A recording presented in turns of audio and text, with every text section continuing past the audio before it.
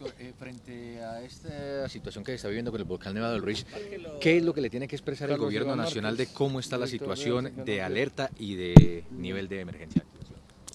Bueno, hay que tener en cuenta dos aspectos importantes. Hay un nivel de activación del volcán Nevado del Ruiz que nos lo da el estudio que está haciendo a través del servicio geológico.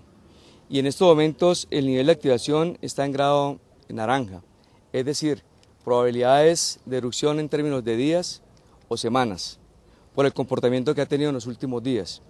Pero de igual manera, lo que tenemos que aclarar es que en cada uno de los municipios que están en la zona de amenaza volcánica, el nivel de alerta se activa de acuerdo al riesgo que se tiene. Es decir, en cada municipio puede darse un nivel de alerta amarilla en el casco urbano y un nivel de alerta eh, naranja en las eh, comunidades que están cerca a las cuencas donde pueden eh, bajar material.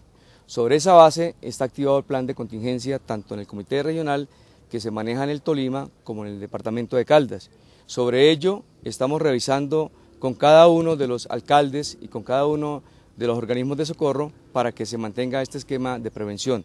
Entonces, hoy vamos a tener una reunión acá en Manizales para ver el comportamiento que se ha tenido en, los últimos, en las últimas horas, mantener este esquema a nivel general, pero decirles que el nivel de activación hoy, el volcán Nevado del Ruiz, se mantiene en naranja conforme al comportamiento que ha tenido en las últimas horas. ¿Qué departamentos están comprometidos? ¿Cuáles son los municipios? ¿Cuántos? Bueno, en ese sentido hay que manejar la siguiente información. En el departamento de Caldas está el municipio de Villamaría, Chinchiná y Manizales que pueden verse afectados de acuerdo a esa situación por la caída de cenizas y por, y por ese esquema se mantiene un esquema de alistamiento.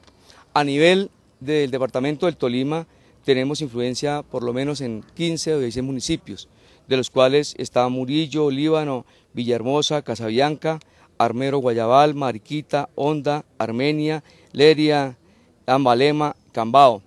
En ese sentido, lo que se revisa es el esquema de alistamiento que hoy tenemos bajo ese parámetro.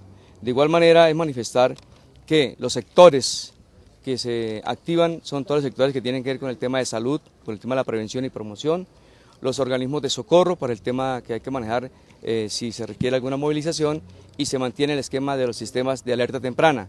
¿Qué tenemos activado nosotros en estos momentos? El plan de contingencia a nivel regional y a nivel nacional. Es decir, a nivel local se tienen activados tanto Caldas como Tolima.